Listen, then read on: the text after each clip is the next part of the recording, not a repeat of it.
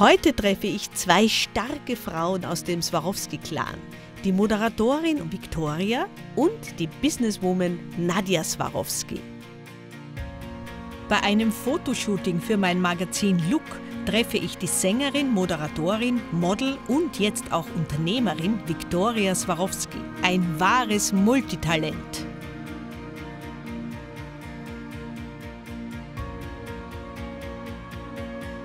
Hallo! Victoria ist uns allen als Moderatorin von Let's Dance bekannt. Nun ist ihre erste Kosmetiklinie auf dem Markt. Wie geht es ihr als Businessfrau? Hallo Vicky, schön, dass du bei uns in Wien bist. Von wo kommst du gerade? Vielen lieben Dank, dass ich hier bei euch in Wien sein darf.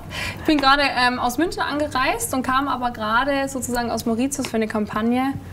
Und jetzt bin ich schon wieder bei mir zu Hause in Österreich. Ich freue mich sehr. Cool. Das heißt, dein Wohnsitz ist jetzt in München? In Deutschland, ja. In mhm. Deutschland? Mhm. Und du reist um die Welt. Also man hat ja das Gefühl, du bist überall äh, gleichzeitig. Äh, du machst in Deutschland immer noch Let's Dance. Mhm. Äh, du shootest Kampagnen. Du hast eine neue Kosmetiklinie auf den Markt gebracht. Auf da hat sich unheimlich viel getan in deinem Leben. Wahnsinnig ja. viel hat sich getan. genau. Ja, also ich meine, ich sage immer, es ist ganz witzig, wenn die Leute mich anschreiben und sagen, Mai, Vicky, du bist schon wieder weg. Ich sage, ja, aber Leute, ich arbeite. Ja? Ich fliege ja nicht nach Mauritius, um Urlaub zu machen, sondern ich shoote eine Kampagne. Ja. Ich probiere es natürlich zu kombinieren und sage, bleib dann drei Tage länger, weil es ist ja doch dann eine Hauer. Ja, 13, 14 Stunden fliegst dahin. Aber es macht mir wahnsinnig viel Spaß. Mein Job ist meine Passion. Und jetzt, wie du eben gerade vorhin gesagt hast, jetzt habe ich auch noch meine Beauty-Brand auf den Markt gebracht. Und ich bin so dankbar und auch gleichzeitig sehr stolz, dass ich das geschafft habe. Was ist denn der Hintergrund dieser Beauty-Brand? Also warum, wie, wie ist das? Da denkt man sich, ich mhm. mache jetzt auch mal eine Beauty-Marke oder wie, wie darf man sich das vorstellen? ja, so, so, ungefähr. Nein, da ist mhm. natürlich schon viel mehr dahinter. Mhm. Also ich reise wahnsinnig viel, ich bin viel vor der Kamera, ähm, ich bin viel in Studios und du weißt es ja auch, ähm, die Haut ist strapaziert, wenn du so oft geschminkt mhm. wirst und ähm, wahnsinnig trocken und anfällig. Und ich habe so viele verschiedene Produkte ausprobiert und dann funktioniert wieder mal eines mhm. und dann merkst du, dass es nachlässt. Ja?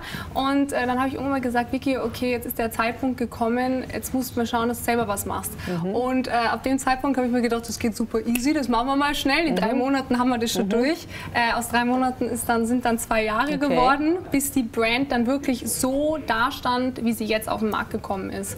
Also da ist mhm. wirklich wahnsinnig viel Herzblut mit drinnen und auch, also ich meine, viel Technologie, muss man mhm. auch sagen. Wir haben mhm. wirklich darauf geachtet, dass wir eben clean, glowy, effective sind. Okay. Und ähm, die Brand heißt wie? Orimai. Warum? Orimai? Orimai heißt auf Chinesisch originale Schönheit. Ori, Ori, Ori okay. Original. Okay. Und Mei heißt äh, äh, Schönheit. Okay. Und die Produkte gehen für jeden Hauttyp. Also auf das jeden. heißt, äh, da muss ich jetzt nicht schauen, habe ich trockene. So. Null, überhaupt mhm, nicht. Das passt. sich wirklich an jeden Hautton mhm. an. Mhm. Jetzt äh, muss ich dich fragen, du schaust ja immer aus äh, wie aus dem Journal, hätte man gesagt. ja, wie dem Journal entsprungen. Ne? Das ist aber sehr lieb, danke. Wie lange brauchst du denn, äh, um dich zu pflegen und herzurichten, also, so in der Daily Routine? Also Daily Routine, ich wollte gerade sagen, heute waren es genau eine, eine Stunde 40, ja, aber da habe ich auch ein tolles Team. Ähm, aber das genau. habe ich natürlich auch nicht jeden Tag mit mir dabei. Ja, ich bin, äh, ich stehe genauso... was gehört denn zu deiner Daily Routine? Ja, ich stehe auf in der Früh, lasse das Erste, was ich immer mache, äh, Kuscheleinheit mit Winnie, viel Liebe, sage ich immer. Ist ja, das, klar, ja. natürlich. Seit einem Jahr in deinem Leben. Oh, ich sagte, das verändert das Leben total, aber es, es macht auch echt viel Spaß. Und man ist nie alleine, das ist das Schöne. Mhm. Ähm, dann lasse ich mir meinen Kaffee runter, mhm. mit Hafermilch tatsächlich. Okay.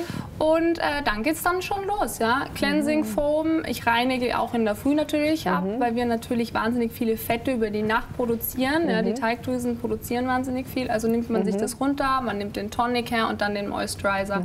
Und dann on top auf dem Moisturizer nehme ich dann meine Glow Drops, weil die gleichzeitig wie ein okay. Primer agieren. Yeah.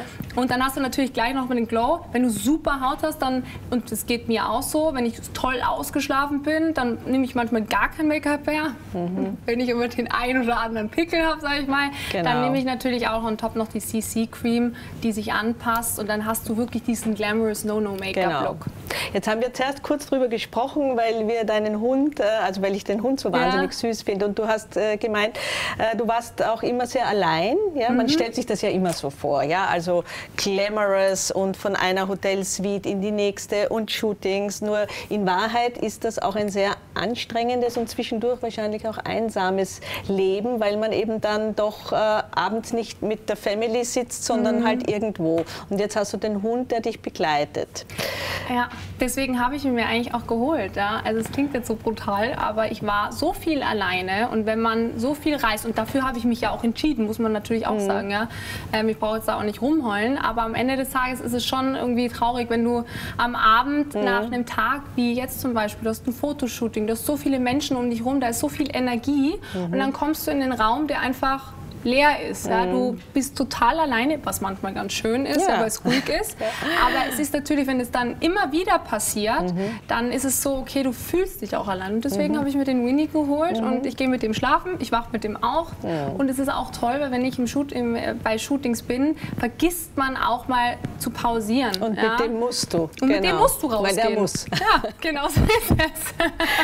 genau. Ja, also du trägst natürlich einen großen Namen, warst aber immer sehr darauf bedacht, ein eigenes Business zu machen und aber auch sehr darauf bedacht, dass die Family da irgendwie immer mitzieht. Ja?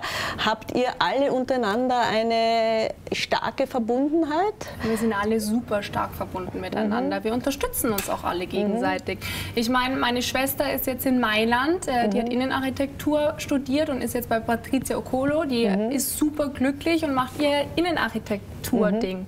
Ähm, meine ältere Schwester ist in der Gastronomie, mhm. ja, macht Losteria und wir sind alle nur noch am Pizza und Pasta ja, okay. essen. Und ich glaube, wenn man sich gegenseitig unterstützt und gegenseitig pusht, dann ähm, bringt es auch jedem was. Ja? Und wir mhm. sind einfach ein echt gutes Team mhm. und äh, das soll auch hoffentlich so, also sag mal, tu, tu, tu, das bleibt natürlich so. Ja. Und ähm, Neid gibt es bei Gibt's uns nicht. Das heißt, Nein. ihr habt äh, eine, eine Verbindung, auch du und deine Geschwister, ihr, da gibt es nicht diese Picky, äh, was macht die? Nee, und, hm, überhaupt nicht. Es ist hm. eher so, die rufen an und sagen, was hast du denn da wieder gesagt? Das hätte okay. ich so gesagt. Ja? Okay. Ähm, es ist so, wir passen aufeinander auf. Wenn, wenn, mhm. wenn was gut war, sagen wir, das war mega, ja, war cool. Mhm. Wenn was blöd war, dann wird es einem auch direkt auf den Tisch geklatscht. Ja? Und du siehst auch deine Mama oft, habe ja. ich das Gefühl. Also ihr habt auch eine sehr starke mit der Verbindung. mit der ja. telefoniere ich täglich und mhm. wenn nicht viermal, ähm, mhm. weil natürlich alles mit der besprochen wird. Mhm. Ich liebe meine Mutter. Es ist natürlich jetzt ähm, in der letzten Zeit ein bisschen weniger geworden, mhm. weil ich natürlich durch meine Firma Orimai Beauty wirklich wahnsinnig viel im Office bin und auch die mhm. Zeit gar nicht mehr so habe. Mhm. Ähm, aber ich stimme mich natürlich schon ab. Ich frage, ich meine, man darf nicht vergessen, ich komme doch aus, einem, aus einer Unternehmersfamilie mhm. und da kann man sich natürlich den einen oder anderen Tipp holen. Mhm. Ähm, und das tue ich auch. Mhm. Ich wäre doof, wenn ich es nicht machen würde. Ja, klar. Ja, und dann muss man sagen, verheiratet bist du ja auch noch. Ja. ja? Also keine Ahnung, wie du das alles irgendwie unter einen Hut bekommst, aber du hast ja auch noch sowas wie ein persönliches Leben. Ähm, und ich frage dich jetzt gar nicht diese doofe Frage, kommt das nicht irgendwie zu kurz, ja. äh, sondern ich möchte es eher so formulieren, ähm, bist du zufrieden, so wie es ist? Ich bin mega zufrieden, ja. so wie es ist, weil ich mhm. habe einen tollen Mann an meiner Seite, der mich unconditionally unterstützt. Mhm. Ja, ich glaube, sonst würde es gar nicht gehen. Mhm. Und ähm, ich weiß auch, was ich will und er weiß auch, was er will. Mhm. Und das ist auch gut so. Er macht seinen Weg, ich mache meinen Weg und so führt der Weg zusammen am Ende des Tages. Mhm. Ich finde es auch immer ganz wichtig, ich bin im komplett anderen Business, als er es ist. Mhm. Und ähm, so bleibt geschäftlich geschäftlich und privat bleibt privat. Und bis jetzt ist alles gut gegangen. Funktioniert das, ja. genau. Freundeskreis gibt es wahrscheinlich auch, aber der kommt dann wirklich zu kurz, oder? Ähm, die Freunde, muss ich natürlich schon sagen, mhm. kommen natürlich mhm. zu kurz in, in, jeder Hinsicht, aber ich muss auch sagen, ich habe nur meine Freunde von damals. Mhm. Also wirklich aus meiner Jugend, die ziehe ich die ganze Zeit mit und mhm. dann sage ich auch, das, das wird einfach kombiniert. Ja? Einfach, entweder kommt meine Freundin mit auf Shoot oder die anderen kommen zu Let's Dance oder man mhm. trifft sich, wenn man für ein Shooting wohin fährt, sagt man, komm, machen wir ein paar Tage vorhin ähm, alle zusammen da was. Also man probiert es zu kombinieren. Mhm. Dass es zu kurz kommt, ja, ist leider ist so. Halt so. Täglich Sport oder Fitness, geht sich sowas aus in deinem Leben? Oder zumindest zweimal die Woche? Na, muss ich ausgehen. Mhm. Am Ende des Tages ist äh, Körper unser Kapital von uns allen, weil mhm. am Ende, wenn du einen gesunden Körper hast, kannst du genau das machen, was ich jetzt mache. Ich bin natürlich, wie eben schon vorhin auch gesagt, äh, die ganze Zeit unterwegs und man muss seinen Körper gesund halten, mhm. weil irgendwann einmal klappt er dann auch mhm. zusammen. Wie machst du das? Also wie hast du da eine bestimmte Übung oder Sport oder Yoga? Nee, ich habe einfach meine Routine. Ich gehe mhm. also ich gehe hauptsächlich ins Fitness, weil wenn ich natürlich im, mhm. äh, im Hotel bin, ist meistens ein Hotel mit Fitness, da achte ich immer drauf. Und wenn ich in der Frühzeit habe, dann mache ich es in der Früh. Und wenn ich in der Früh gar keine Zeit habe, ja, wenn Calltime zum Beispiel mhm. vier ist und man muss mhm. von vier bis sechs geschminkt werden, mhm. dann mache ich es meistens noch äh, nach dem ganzen Shooting okay. am Abend. Aber du baust es irgendwie ein, ja. weil du das auch brauchst ja, wahrscheinlich. Auf jeden mhm. Mhm. Was ist denn so dein privater Style, wenn du nicht arbeitest, wenn du nicht shootest, wenn du nicht in der Öffentlichkeit stehst, wenn du nicht moderierst, wenn du einfach nur du bist? Wie, was ziehst du da an?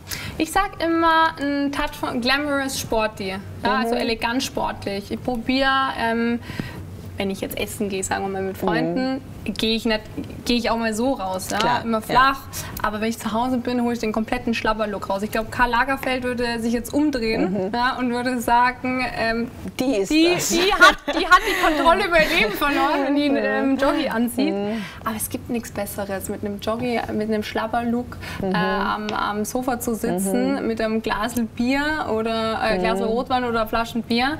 Also ja und einen schönen Film schauen, aber den schaffe ich eh nie, weil ich so fertig ja. bin. Meistens bin ich nach den ersten zehn Minuten raus und schlafe schon. Genau. Wie gehst du denn mit der Liebe deiner Fans um? Äh, ist das etwas Belastendes? Ist das etwas cool. Schönes, wenn du erkannt wirst auf der Straße, wenn du fotografiert wirst, wenn man dich vielleicht um ein Autogramm bittet oder, oder einfach sagt, kann, kannst du mal ein Selfie mit mir machen? Na, es war heute. Heute ist es gerade wieder passiert. Ich bin aus dem Hotel raus und bin mit dem Winnie spazieren gegangen mhm. und und hatte einen langen Mantel an, eine Sonnenbrille und bin rum ohne Maske. Und dann kommt eine Dame auch mit dem Hund zu. Er fängt gleich wieder bellen an mhm. ja, und dachte mir, um Gottes Willen, Winnie, benimm dich. Ähm, und dann sagt sie nur, Mai, Sie schauen, sie schauen das Swarovski so ähnlich. Und ich so, ich bin dies. Sagst ich du schon, die ich Victoria. Ja, könntest du auch sagen, hm, nein, kenn ich nicht. Nein, und ich freue mich natürlich schon mhm. sehr. Ich meine, ich mache den Job jetzt wirklich lange und ich bin da, wo ich bin, weil ich tolle, wirklich liebe Fans habe, die mich unterstützen. Und ich glaube, anders wird es mhm. gar nicht gehen. Und ich, natürlich freue ich mich, wenn mich jemand fragt und sagt, können wir ein Bild machen. Mhm. Überhaupt kein Problem. Mhm. Also ich bin sehr Offen. stolz drauf. Mhm. Würdest du gewisse Dinge jetzt anders machen, rückblickend? Oder oh Gott, äh, klar. Reflektierst du das manchmal? Natürlich. Ähm, ich glaube, dass man, ähm, wenn, man an dem Punkt ist, sagt man, okay, jetzt mache ich alles richtig. Jetzt bin mhm. ich 28 und ich habe das Gefühl, jetzt wird alles richtig. Ich glaube, jetzt äh, in fünf Jahren sage ich wieder, um Gottes Willen, was habe ich mit 28 alles gemacht? Ja? ja. Ähm, genauso geht es mir jetzt, wenn ich hier sitze und sage, okay, ich bin 28. Äh, was habe ich mit 20? Also da mhm. wusste ich noch gar nichts. Mhm. Ja? Und ich glaube, so ist es aber immer noch. Ähm, man mhm. lernt einfach mhm. mit der Zeit. Und äh, es macht mir auch wahnsinnig viel Spaß, weil mhm. wenn, wenn man lernt, dann weiß man auch, dass man auf dem richtigen Weg ist. Weil genau. durch die Fehler lernt man. Weil begonnen hast du ja eigentlich mit dem Singen. Ja. Ne? Genau. Und äh, dann kam Moderieren natürlich mhm. und eins nach dem anderen. Da sage ich immer, da bin und ich reingeschlittert. Da bist du reingeschlittert. In die Moderation genau. bin ich genau. reingeschlittert. Ähm, aber ich muss auch sagen, es macht mir wahnsinnig viel Spaß. Es ist, ähm, ich bin wirklich reingewachsen. Ich glaube, wir haben es alle mitbekommen. Mhm. Erste Show, brauchen wir jetzt auch nicht mehr groß aufplustern. Das war halt einfach ein, sagen wir mal, Griff ins Klo. Ähm, aber ab dem Zeitpunkt habe ich gesagt, okay, Vicky, wenn du das wirklich beruflich machen willst, dann musst du dich jetzt einfach mal auch hinsetzen mit diesem Thema, wirklich auseinandersetzen mhm. und dran arbeiten und mhm. kämpfen. Mhm. Und ähm, ich meine, ich sitze jetzt immer noch da, ich äh, moderiere Let's Dance immer noch und ich lerne jedes Jahr mit dazu mhm. und ich hoffe, dass ich es noch ganz viel länger machen darf. Was ist denn so das äh, Ziel oder der Traum oder eine Vision vielleicht von dir, wo du in 10 Jahren oder in 15 Jahren stehen möchtest oder lässt du das eher an dich herankommen und nee, denkst über das nicht nach? Es gibt für mich natürlich ein Ziel. Ich finde es immer ganz schwierig, über ungelegte Eier zu mhm. sprechen, weil ich sage immer, das bringt Unglück. Aber mhm. das nächste wäre Film für mich tatsächlich tatsächlich. Und da sind wir auch schon sehr akribisch dran und sitzen an einem wirklich tollen großen Projekt. Kann ich noch nicht immer, ich sage immer, es ist immer so schwierig zu sagen, kann Ja. ich noch nicht drüber sprechen, weil das ist immer so, ja, okay. Ähm, aber in den, im nächsten Jahr wird es dann ernst und dann können wir uns wieder treffen, Uschi, und dann können wir genau über dieses Thema reden. Aber da gibt es natürlich so viel. Ich meine, ich habe gerade äh, mein eigenes Unternehmen gegründet. Genau, Ähm, du bist jetzt Businessfrau und richt, also du managst eigentlich ein Unternehmen. Ja, das ist wieder ein anderer Zugang. Ja, ne? und da lernt man auch wahnsinnig viel. Genau. Also wirklich, ich, äh, jeden Morgen, wenn ich aufstehe, denke ich mir, OM, OMG, das gibt's doch nicht. Also es kommt jeden Tag was Neu- Neues auf einen zu und ähm, es sind einfach Hürden, die man sozusagen be bewältigen muss und es macht natürlich äh, in dem Fall Spaß, aber auch gleichzeitig denkt man sich so in dem Moment, okay, wie gehe Hättest du gedacht, ja, vor Dass zwei das- Jahren, das das, ja, wo, wo du genau. das begonnen hast, ja, dass das alles auf dich zukommt? Nein, natürlich nicht. Aber jetzt bist du mittendrin. Man muss sich ein großes Flugzeug vorstellen, das auf der Startbahn ist und aber schon abgehoben ist. Du kannst ja Genau. jetzt nicht sagen, so, jetzt drehen wir wieder um, ähm, sondern das fliegt jetzt und im besten Fall geht es ganz weit hoch und bleibt für immer da oben. Kann natürlich auch abstürzen, aber das hoffe ich nicht. Wenn man so viele ähm, verschiedene Dinge macht wie du, braucht man Disziplin. Also das ist, glaube ich, eine Grundvoraussetzung, sonst schafft man das nicht. Bist du ein sehr disziplinierter Mensch? Oh, das ist so schwierig, wenn man das immer von sich selber sagt. Ich glaube, da müsste man mein Management fragen, den Ralf da hinten, ob ich diszipliniert bin. Aber ja, natürlich. Also denke ich schon, dass ich diszipliniert bin. Aber ich bin auch jemand, ich kann auch leben zwischendrin. Ja? Also ich liebe es auch, mit der Family mal einen zu trinken und auch mal richtig Ja. Gas zu geben und zu essen. Es gehört dazu. Also ich Ja. meine, ich glaube, wenn du die ganze Zeit auf Handbremse lebst, dann irgendwann mal wirst du ausbrechen. Ja? Und deswegen gibt es immer so zwischendrin dann mal so kleine, ich sag mal, Feiereien. Und dann Ja. ähm, ziehe ich auch wieder die Handbremse an und ne? sag, jetzt musst du wieder kontrolliert sein. Jetzt darfst du halt nicht mehr so viel essen, es musst halt kontrolliert deine Sachen nehmen und so weiter und so fort. Bei der Woman of the Year Gala treffe ich Nadja Swarovski kurz bevor sie mit dem Sustainable Leadership Award ausgezeichnet wird. Nadja ist nicht nur eine Businesswoman schlechthin, Gründerin der Swarovski Foundation und Nachhaltigkeitspionierin. Seit ihrem Abgang aus dem Familienunternehmen Swarovski hat sie große Pläne für ihre und unsere Zukunft. Nadja Swarovski, ein klingender Name, ein klingendes Unternehmen, äh, aus dem du jetzt aber ausgestiegen bist, um dich ähm, deiner Zukunft zu widmen, ein neues Kapitel deiner Karriere aufzuschlagen, wie du es äh, nennst. Du warst 26 Jahre, glaube ich, im Familienunternehmen, hast dort Gewaltiges aufgebaut. Ja, auch äh, sehr viel für Frauen getan. Was zum Beispiel? Also ich muss sagen, es war eine wahnsinnige Freude für dieses Unternehmen arbeiten zu können. Und ungefähr 90 Prozent unserer Kunden waren Frauen. Also es war wirklich eine Frauenwelt. Der Kunde ist die Frau. Und deswegen hat es auch für mich sehr Spaß gemacht, ähm, da involviert zu sein, aber dann auch während der Zeit im Unternehmen der Frau zurückzugeben. Und deswegen haben wir auch die Swarovski Foundation Genau, was ist das gegründet. genau? Was, was, was? Und die Swarovski Foundation ist eine englische Charity. Also wir haben das gegründet, weil ich eben in England bin. Ähm, also wir haben es in England gegründet, weil ich in England äh, mein Büro hatte. Und ähm, also wir haben uns auf drei verschiedene Themen fokussiert. Umwelt, Kunst, Kultur und Nachhaltigkeit. Du hast es vorhin angesprochen, du hast das Unternehmen äh, vor kurzem äh, verlassen und möchtest jetzt etwas Neues machen, äh, was ich wahnsinnig spannend finde nach so einer langen Zeit im Familienunternehmen. Wie ist das für dich? Ähm, hast du so eine Aufbruchsstimmung in dir oder ist da ein bisschen Wehmut? Es ist Aufbruchsstimmung, es ist Freiheit. Ähm, ich habe natürlich meine Arbeit wahnsinnig gerne gemacht. Ähm, ich hatte wirklich die Intention, dieses Unternehmen weiterzuführen, es relevant zu machen. Aber jetzt ist eben die Zeit, meine Sache zu machen. Meine Sache zu machen für mich selbst, für meine Kinder und wirklich diese Heritage für meine Kinder aufzubauen. Aber was mir wahnsinnig wichtig ist, ist, dass ich etwas für die Mitmenschen tue, mhm. die Umwelt tue, dass ich zurückgebe. Warum äh, setzt du dich für Frauen ein? Warum äh, jetzt abseits, äh, dass Swarovski natürlich äh, weibliche, primär weibliche Kundinnen hatte, mhm. aber warum ist es dir wichtig, Frauen zu stärken? Ja, also ich finde, ich habe selber miterlebt, in Österreich aufgewachsen zu sein, dass da nicht Gleichgerechtigkeit mhm. existiert. Äh, wenn man sich die Welt anschaut, wir haben so ein Glück hier zu leben. Wir haben Freiheit, wir mhm. haben Frieden, wir haben wir haben Demokratie, wir haben unsere Gesundheit und all das ist eine fantastische Plattform. Mhm von wo man äh, wirklich der Menschheit helfen kann und zurückgeben kann. Mhm. Jetzt bist du in Wattens aufgewachsen, mhm. ja?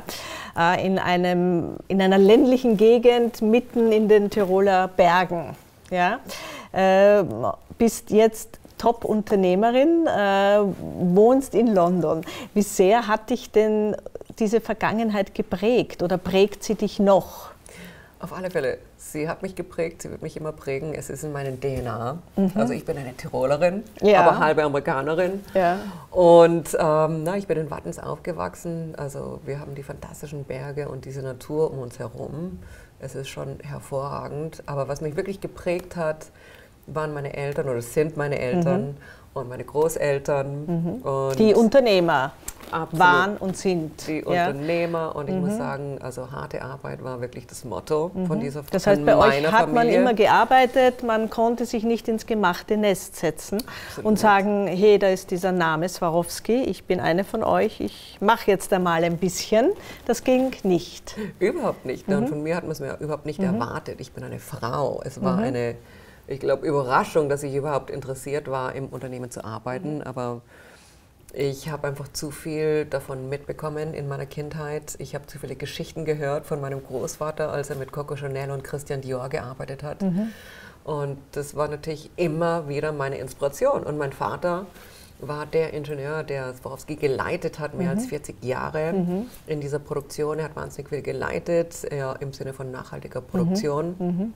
Aber ähm, als ich dann raus bin in die Weltgeschichte und Kunstgeschichte studiert habe und dann in New York gearbeitet habe mhm. und ähm, dann natürlich auch europäische Familien in New York City vertreten habe, deren Unternehmen in der Modeindustrie waren, mhm. dachte ich, Moment, ich habe eigentlich auch ein Familienunternehmen, mhm. wessen äh, seine Wurzeln in der Mode hat. Mhm. Ähm, Swarovski wirklich hat, hat angefangen 1895 mit der Produktion des Schmucksteines, ja. welches nicht nur für Schmuck verwendet wurde, sondern auch für Kleider. Also mhm. Queen Victoria zum Beispiel war unsere erste Kundin, Kundin mhm. durch den Couturier Worth. Und da dachte ich mir, Moment, die Geschichten von dem Großvater über Coco Chanel und Christian Dior, okay, da müssen wir zurück. Mhm. Und ich habe eben die, ähm, die Äquivalenz mhm. vom Dior im Alexander McQueen gefunden. Mhm. Jetzt wirkst du immer so positiv und so motiviert, auch in Zeiten, wo es manchmal nicht so, so rund läuft. Ja? Mhm. Woher nimmst du deine Energie und dieses Positive Thinking? Du, Oder ist das in dir drin, einfach in den Genen? Ist, es ist mir in mhm. mir drinnen, es ist mir in mir drinnen und ich habe mich noch in einer Silgas im Gymnasium wurde mir vorgeworfen, warum ich denn immer so glücklich bin. Ja, das mögen die Österreicher nicht so Obwohl gern. man halt um 5.45 Uhr aufstehen musste, um den Bus um 6 Uhr mhm. zu erwischen, der dann eineinhalb Stunden in die Stadt gefahren ist und so weiter. Ja. Ähm, ich glaube, am Ende des Tages ist es, ähm, weißt du, es ist eine Wahl, wie man denkt und wie man denkt beeinflusst die Gefühle. Mhm. Und am Ende des Tages haben wir so viel, für das wir wirklich ähm, froh sein können.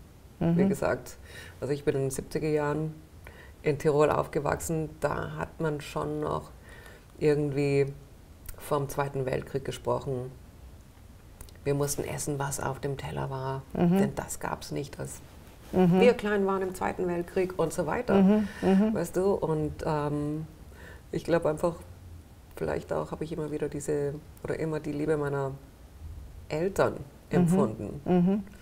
Und meiner Cousins ersten Grades. Mhm. Wir waren sehr eng und jeder hat nebeneinander gewohnt. Also es war wirklich eine sehr enge Community. Mhm.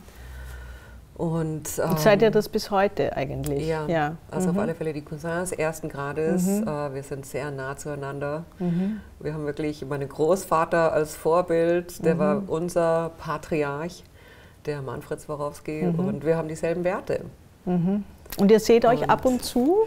Oder wie muss man sich das vorstellen? Wir sehen uns ähm, ein paar Mal im Jahr, aber wir sehen uns einmal in der Woche, einmal in der Woche im Zoom. Im also Zoom. Wir haben ein mhm. Familienzoom. Jetzt hast du drei Kinder im, ich glaube, pubertierenden Alter. Absolut. Genau, warst immer eine Working Mom, ja. äh, die immer irgendwie den Spagat geschafft hat zwischen mhm. viel Arbeit und, und Familienleben. Wenn ich dich jetzt so frage, wie hast du das hingekriegt, wie würdest du es beantworten? So, ich muss sagen, ich weiß nicht, wie ich es geschafft habe, Uschi. Es ist, es war sehr anstrengend. Jetzt weiß ich erst, wie anstrengend mhm. es war. Jetzt, nach Corona oder während Corona konnte man sich endlich mal ausschlafen. Mhm. Man musste nicht reisen, man musste nicht tagtäglich im Büro sein, man musste mhm. nicht 200 Leute leiten. Mhm. Du, es war anstrengend. Mhm. Es war anstrengend, aber Gott sei Dank habe ich einen sehr netten Mann, der unterstützt mich vollkommen in meiner Aufgabe. Mhm. Aber meine Kinder haben mich auch vollkommen unterstützt mhm. und unterstützen mich jetzt und freuen sich jetzt auf das zweite Kapitel. Mhm. Wurde dir das auch vorgelebt von deinen Eltern, äh, dass das möglich ist, äh, Job und Familie zu vereinbaren? Mhm. Das wurde mir überhaupt nicht vorgelebt. Äh, meine Mutter war auf alle Fälle diese typische Hausfrau. Eine typische Tirolerin, die. Nein, meine Mutter ist Amerikanerin. Ah ja, okay. Aber sie war eine typische Hausfrau. Aber sie war eine Hausfrau. Okay. Sie hat immer gesagt, die Frau identifiziert sich mit dem Mann ja. und der Mann identifiziert sich mit der Arbeit. Okay. So in diesem Geist bist du erzogen. Und ich habe ja. mir gedacht, oh, Not for me. Ah, zuerst mal ja. muss dieses Paar sich miteinander identifizieren. Mhm. Und jede Person im Paar darf sich mit der Arbeit identifizieren. Mhm.